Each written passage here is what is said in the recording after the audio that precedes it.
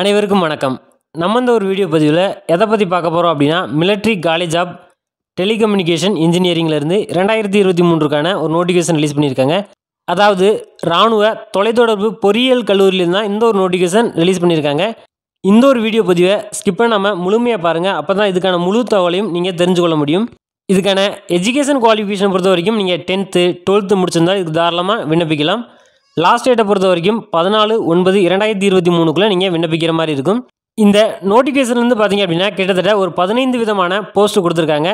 எல்லா போஸ்ட்டுக்குமே பார்த்தீங்க அப்படின்னா தனித்தனியான சிலபஸு ஏஜ் லிமிட் அதுக்கான சேலரி எல்லாமே தனித்தனியாகவே கொடுத்துருக்காங்க. நம்ம ஃபஸ்ட்டாக பார்த்தீங்க அப்படின்னா எல்டிஎஸ்சி போஸ்ட்டை பற்றி பார்க்கலாம். இதுக்கான செலெக்ஷன் ப்ராசஸை பொறுத்த வரைக்கும் tier one tier two tier three அப்படின்ற மாதிரி ஃபாலோ பண்ணுவாங்க. டயரில் ஒன் பார்த்தீங்க அப்படின்னா உங்களுக்கான ரிட்டன் எக்ஸாமினேஷன் இருக்கும். ரிட்டன் எக்ஸாமினேஷனை பொறுத்த வரைக்கும் ஓஎம்ஆர் பேஸ் பண்ணி தான் இருக்கும். லாங்குவேஜ் பார்த்தீங்க அப்படின்னா இங்கிலீஷ் அண்டு ஹிந்தியில் தான் நீங்கள் உங்களுடைய எக்ஸாமினேஷன் நீங்கள் அட்டன் பண்ணுற மாதிரி இருக்கும். சிலபஸை பொறுத்த வரைக்கும் part one part two part three part four அப்படின்ற மாதிரி கொடுத்துருக்காங்க. பார்ட் ஒனில் பார்த்தீங்க அப்படின்னா ஜென்ரல் இன்டெலிஜென்ட் அண்ட் ரீசனிங் இருக்கும். ஒவ்வொரு கொஸ்டினுக்குமே பார்த்தீங்க அப்படின்னா டூ மார்க் அப்படின்ற அடிப்படையில் twenty five question fifty marks இருக்கும். பார்ட் டூவில் பார்த்தீங்க அப்படின்னா இங்கிலீஷ் லாங்குவேஜ் இருக்கும். Twenty five question fifty marks இருக்கும். பார்ட் த்ரீயில் பார்த்தீங்க அப்படின்னா ஆப்டிடியூட் இருக்கும். Twenty five question fifty marks இருக்கும். பார்ட் ஃபோரில் பார்த்தீங்க அப்படின்னா ஜென்ரல் அவேர்னஸ் இருக்கும் twenty five question fifty marks இருக்கும் டோட்டலாக பார்த்தீங்க அப்படின்னா hundred question two hundred marks இருக்கும். உங்களுடைய எக்ஸாம் டியூரேஷனை பொறுத்த வரைக்கும் சிக்ஸ்டி மினிட்ஸ் அதாவது ஒன் ஹவர் உங்களுடைய எக்ஸாமினேஷன் இருக்கும். நெகட்டிவ் மார்க்கை பொறுத்த வரைக்கும் நீங்கள் ராங்காக கொடுக்கக்கூடிய ஒவ்வொரு கொஸ்டினுமே பார்த்தீங்க அப்படின்னா zero point five zero mark வந்து நெகட்டிவ் பண்ணுவாங்க. டயர் டூவில் பார்த்தீங்க அப்படின்னா டிஸ்கிரிப்டிவ் பேப்பர் இருக்கும். இதை பொறுத்த வரைக்கும் ஹண்ட்ரட் மார்க்கு உங்களுடைய எக்ஸாமினேஷன் இருக்கும். எக்ஸாம் டியூரேஷனை பொறுத்த வரைக்கும் ஒன் ஹவர் உங்களுடைய எக்ஸாமினேஷன் இருக்கும். டயர் டூ டெஸ்ட்டில் நீங்கள் எலிஜிபிள் ஆகணும் அப்படின்னா தேர்ட்டி த்ரீ பர்சன்டேஜ் மார்க்கை நீங்கள் ஸ்கோர் பண்ணீங்க அப்படின்னா மட்டும்தான் இந்த டயர் டூவில் நீங்கள் எலிஜிபிள் ஆவீங்க.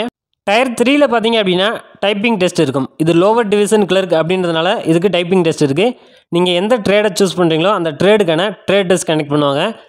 இதை பொறுத்த வரைக்கும் இங்கிலீஷ் லாங்குவேஜில் நீங்கள் டைப் பண்ணீங்க அப்படின்னா thirty five words per minute நீங்கள் அடிக்கிற மாதிரி இருக்கும். ஹிந்தியில் நீங்கள் டைப் பண்ணீங்க அப்படின்னா தேர்ட்டி வேர்ட்ஸ் பர் மினிட் வந்து நீங்கள் அடிக்கிற மாதிரி இருக்கும். இதே மாதிரி ஒவ்வொரு போஸ்ட்டுக்குமே பார்த்தீங்க அப்படின்னா தனித்தனியான செலெக்ஷன் ப்ராசஸ் இருக்குது அதுக்கான ட்ரேட் டெஸ்ட்டை அவங்க கனெக்ட் பண்ணுவாங்க. அதை வந்து நீங்கள் வந்து செக் பண்ணிக்கோங்க. அதுக்கான அஃபீஷியல் நோட்டிஃபிகேஷன் பார்த்தீங்க அப்படின்னா நம்முடைய வாட்ஸ்அப் அண்ட் டெலகிராம் பேஜஸில் நான் கொடுக்குறேன். நம்முடைய வாட்ஸ்அப் அண்ட் டெலகிராம் பேஜில் நீங்கள் ஜாயின் பண்ணலை அப்படிங்கன்னா நம்முடைய யூடியூப்போட அபவுட் பேஜை ஓப்பன் பண்ணிக்கோங்க. ஓப்பன் பண்ணிங்க. அதில்னா நம்முடைய டெலகிராம் அண்ட் வாட்ஸ்அப்புடைய லிங்க் இருக்கும். அதில் ஜாயின் பண்ணிக்கோங்க. இதுக்கான எஜுகேஷன் குவாலிஃபிகேஷன் என்ன அப்படின்றத போஸ்ட் வைஸாக பார்க்கலாம். ஃபஸ்ட்டு பார்த்தீங்க அப்படின்னா பெயிண்டர் இதுக்கான குவாலிஃபிகேஷனை பொறுத்த வரைக்கும் நீங்கள் டுவெல்த்து கம்ப்ளீட் பண்ணியிருக்கணும். கம்ப்ளீட் பண்ணிவிட்டு அந்த ட்ரேடு ரிலேட்டடாக உங்களுக்கு நாலேஜ் இருக்கணும். இரண்டாவதாக பார்த்தீங்க அப்படின்னா கார்பெண்டர் இதுக்குமே நீங்கள் டுவெல்த் தான் கம்ப்ளீட் பண்ணியிருக்கணும். டுவெல்த் கம்ப்ளீட் பண்ணிவிட்டு அந்த ட்ரேடு ரிலேட்டடாக உங்களுக்கு நாலேஜ் இருக்கணும். மூன்றாவதாக பார்த்தீங்க அப்படின்னா சௌகிதர் எம்டிஎஸ் இந்த ஒரு போஸ்ட்டை பொறுத்த வரைக்கும் நீங்கள் டென்த்து பாஸ் பண்ணியிருக்கணும். டென்த்து பாஸ் பண்ணிவிட்டு உங்களுக்கு ஒன் இயர்ஸ் எக்ஸ்பீரியன்ஸ் இருக்கணும் அப்படின்ற மாதிரி கொடுத்துருக்காங்க அந்த ட்ரேடு ரிலேட்டடாக இது வந்து டிசரபிள் குவாலிஃபிகேஷன் தான். இருந்தாலும் சரி இல்லைனாலும் ஓகே தான். சிவிலியன் மோட்டார் டிரைவரை பொறுத்த வரைக்கும் நீங்கள் டென்த்து பாஸ் பண்ணியிருக்கணும்.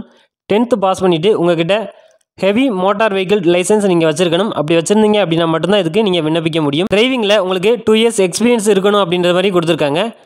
ஐந்தாவதாக பார்த்தீங்க அப்படின்னா எக்யூப்மெண்ட் ரிப்பேரர் இதை பொறுத்த வரைக்கும் நீங்கள் டென்த்து பாஸ் பண்ணியிருக்கணும் டென்த்து பாஸ் பண்ணிவிட்டு textile and leather repair and ரிப்ளேஸ்மெண்ட்டில் உங்களுக்கு அதை பற்றி நீங்கள் தெரிஞ்சுக்கணும். அதை பண்ணவும் உங்களுக்கு தெரியணும். ஆறாவதாக பார்த்தீங்க அப்படின்னா க்ரௌண்ட்ஸ்மேன் இந்த ஒரு போஸ்ட்டை பொறுத்த வரைக்கும் நீங்கள் டென்த்து பாஸ் பண்ணியிருக்கணும். டென்த்து பாஸ் பண்ணிவிட்டு அந்த ட்ரேட் ரிலேட்டடாக உங்களுக்கு நாலேஜ் இருக்கணும். ஏழாவதாக பார்த்தீங்க அப்படின்னா மெசஞ்சர் எம்டிஎஸ் இந்த ஒரு போஸ்ட்டை பொறுத்த வரைக்கும் நீங்கள் டென்த்து பாஸ் பண்ணியிருந்தாலே இதுக்கு போதுமானது. அதேமாரி டிசரபிள் குவாலிஃபிகேஷன் கொடுத்துருக்காங்க. அது வந்து இருந்தாலும் சரி இல்லாட்டி ஓகே தான். எட்டாவதாக பார்த்தீங்க அப்படின்னா ஸ்டோர் கீப்பர் கிரேடு டூ இதுக்கு நீங்கள் டுவெல்த்து பாஸ் பண்ணியிருக்கணும். டெய்லை பொறுத்த வரைக்கும் நீங்கள் டென்த்து பாஸ் பண்ணியிருக்கணும். டெலிகம்யூனிகேஷன் மெக்கானிக்கை பொறுத்த வரைக்கும் நீங்கள் டுவெல்த்து பாஸ் பண்ணியிருக்கணும். டுவெல்த்து பாஸ் பண்ணிவிட்டு டெலிகம்யூனிகேஷனில் உங்களுக்கு த்ரீ இயர்ஸ் எக்ஸ்பீரியன்ஸ் இருக்கணும். அப்படி இருந்துச்சு அப்படின்னா மட்டும்தான் இதுக்கு விண்ணப்பிக்க முடியும். பதினொன்றாவதாக பார்த்தீங்க அப்படின்னா குக் இதுக்கு நீங்கள் டென்த்து பாஸ் பண்ணியிருக்கணும் டென்த்து பாஸ் பண்ணிவிட்டு இந்தியன் குக்கிங்கில் உங்களுக்கு நாலேஜ் இருக்கணும். பன்னிரெண்டாவதாக பார்த்தீங்க அப்படின்னா ட்ரஃப்டி எம்டிஎஸ் இதை பொறுத்த வரைக்கும் நீங்கள் டென்த்து பாஸ் பண்ணியிருக்கணும் அதே மாதிரி டிசரபிள் குவாலிஃபிகேஷனும் கொடுத்துருக்காங்க. பதிமூன்றாவதாக பார்த்தீங்க அப்படின்னா கார்டனர் எம்டிஎஸ் இதை பொறுத்த வரைக்கும் நீங்கள் டென்த்து பாஸ் பண்ணியிருக்கணும் டிசரபிள் குவாலிஃபிகேஷன் பொறுத்த வரைக்கும் கார்டனரில் உங்களுக்கு ஒன் இயர்ஸ் எக்ஸ்பீரியன்ஸ் இருக்கணும். பதினான்காவதாக பார்த்தீங்க அப்படின்னா ஃபேட்டிக் மேனை பொறுத்த வரைக்கும் நீங்கள் டென்த்து பாஸ் பண்ணியிருக்கணும். டென்த்து பாஸ் பண்ணிவிட்டு உங்களுக்கு அந்த ட்ரேடில் ஒன் இயர்ஸ் எக்ஸ்பீரியன்ஸ் இருக்கணும். எல்டிஎஸ் அதாவது லோவர் டிவிஷன் கிளர்க்கை பொறுத்த வரைக்கும் நீங்கள் டுவெல்த்து பாஸ் பண்ணியிருக்கணும். டுவெல்த்து பாஸ் பண்ணிவிட்டு உங்களுக்கு டைப்பிங் ஸ்பீடு அடிக்க தெரிஞ்சிருக்கணும்.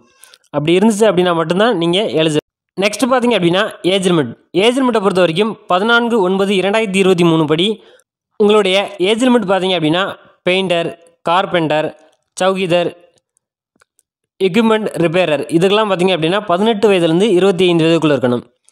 சிவிலியன் மோட்டார் டிரைவர் ஆர்டினரி கிரேடை பொறுத்த வரைக்கும் பதினெட்டு வயதுலேருந்து இருபத்தி ஏழு வயதுக்குள்ளே இருக்கணும். Groundsman messenger store keeper grade two tailor telecommunication mechanic இதெல்லாம் பார்த்தீங்க அப்படின்னா ஏஜ் லிமிட்டை பொறுத்த வரைக்கும் பதினெட்டு வயதுலேருந்து இருபத்தி ஐந்து வயதுக்குள்ளே இருக்கணும். குக் ட்ரஃப்டி கார்டனர் ஃபேட்டிக் மேன் எல்டிசி இந்த எல்லா போஸ்ட்டுக்குமே பார்த்தீங்க அப்படின்னா பதினெட்டு வயதுலேருந்து இருபத்தி ஐந்து வயதுக்குள்ளே இருக்கணும். இதுக்கான ஏஜ் ரிலாக்ஸேஷனுமே கொடுத்துருக்காங்க. எஸ்சி எஸ்டிக்கு ஃபைவ் இயர்ஸ் ரிலாக்ஸேஷனும் ஓபிசி கேட்டகரியில் இருக்கவங்களுக்கு த்ரீ இயர்ஸ் ரிலாக்ஸேஷனும் கொடுத்துருக்காங்க. உங்களுக்கு ஏஜ் பாராயிடுச்சு அப்படின்னா இந்த ஒரு ரிலாக்ஸேஷன் யூஸ் பண்ணி நீங்கள் தாராளமாக இதுக்கு விண்ணப்பிக்கலாம். சேலரியை பொறுத்த வரைக்கும் painter carpenter civilian motor driver இந்த மூன்று போஸ்ட்டுக்குமே பார்த்தீங்க அப்படின்னா பத்தொம்போதாயிரத்தி தொள்ளாயிரத்துலேருந்து அறுபத்தி மூணாயிரத்தி இரநூறு வரைக்கும் பே பண்ணுவாங்க லெவல் டூவில் அதே மாதிரி சவுகிதர் எம்டிஎஸ் அண்டு எக்யூப்மெண்ட் ரிப்பேரரை பொறுத்த வரைக்கும் பதினெட்டாயிரத்துலேருந்து ஐம்பத்தி ஆறாயிரத்தி தொள்ளாயிரம் வரைக்கும் பே பண்ணுவாங்க லெவல் ஒனில் கிரவுண்ட்ஸ்மேன் மெசஞ்சர் டெய்லர் இந்த எல்லா போஸ்ட்டுக்குமே பார்த்தீங்க அப்படின்னா லெவல் ஒனில் பதினெட்டாயிரத்துலேருந்து ஐம்பத்தி ஆறாயிரத்தி தொள்ளாயிரம் வரைக்கும் பே பண்ணுவாங்க. அதே மாதிரி ஸ்டோர் கீப்பர் கிரேடு டூ பார்த்தீங்க அப்படின்னா லெவல் டூவில் பத்தொம்பதாயிரத்தி தொள்ளாயிரத்துலேருந்து அறுபத்தி மூணாயிரத்தி இரநூறு வரைக்கும் பே பண்ணுவாங்க. டெலிகம்யூனிகேஷன் மெக்கானிக்கை பொறுத்த வரைக்கும் லெவல் ஃபோரில் இருபத்தஞ்சாயிரத்தி ஐநூறுலேருந்து எண்பத்தி ஓராயிரத்தி நூறு வரைக்கும் பே பண்ணுவாங்க.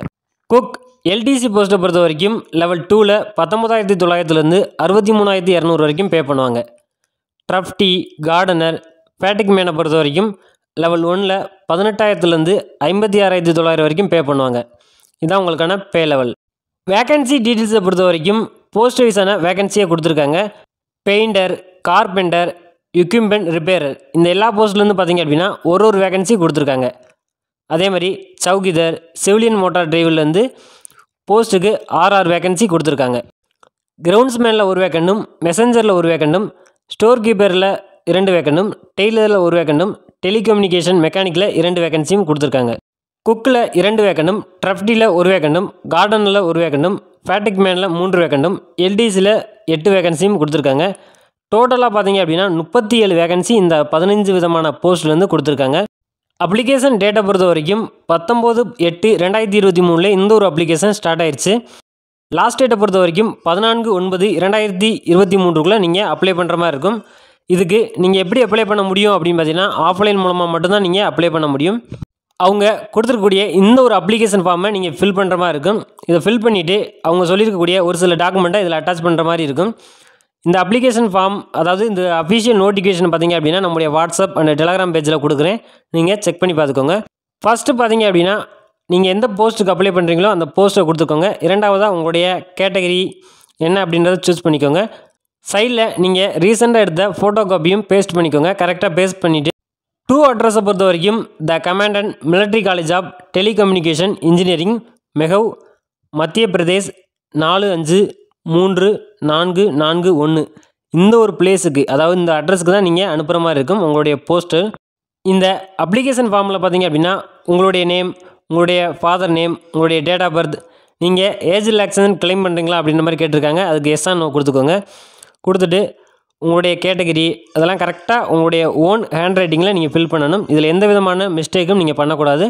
கரெக்டாக ஃபில் பண்ணிவிட்டு இதில் உங்களுடைய tenth mark sheet and TC Aadhaar card two passport size photo நீங்கள் எந்த ட்ரேடுக்கு அப்ளை பண்ணுறீங்களோ அந்த ட்ரேடுக்கு எக்ஸ்பீரியன்ஸ் இருந்துச்சு அப்படின்னா அதுக்கான சர்டிஃபிகேட் எக்ஸ்ட்ரா குவாலிஃபிகேஷன் இருந்துச்சு அப்படின்னா அதுக்கான சர்டிஃபிகேட் கவர்மெண்ட் எம்ப்ளாயாக இருந்தீங்க அப்படின்னா என்ஓசி சர்டிஃபிகேட் இந்த மாதிரியான டாக்குமெண்ட்லாம் நீங்கள் செல்ஃப் அட்டஸ்டேட் பண்ணி அதை கரெக்டாக ஜெராக்ஸ் மட்டும் நீங்கள் எடுத்து இந்த ஒரு அப்ளிகேஷன் ஃபார்மில் நீங்கள் பின் பண்ணுற மாதிரி இருக்கும். இந்த அப்ளிகேஷன் ஃபார்மில் அட்டாச் பண்ணி கரெக்டாக கிராஸ் இந்தியன் போஸ்டல் ஆர்டரில் பார்த்தீங்க அப்படின்னா ஐம்பது ரூபாய் மதிப்புள்ள போஸ்டல் கவரை வாங்கி அதில் இந்த டாக்குமெண்ட்லாம் நீங்கள் அட்டாச் பண்ணி இந்த அப்ளிகேஷன் ஃபார்ம் எல்லாத்தையுமே கரெக்டாக ஃபில் பண்ணி அதுக்குள்ளே வச்சு அவங்களுடைய கரெக்டான அட்ரஸுக்கு நீங்கள் சென்ட் பண்ணுற மாதிரி இருக்கும்.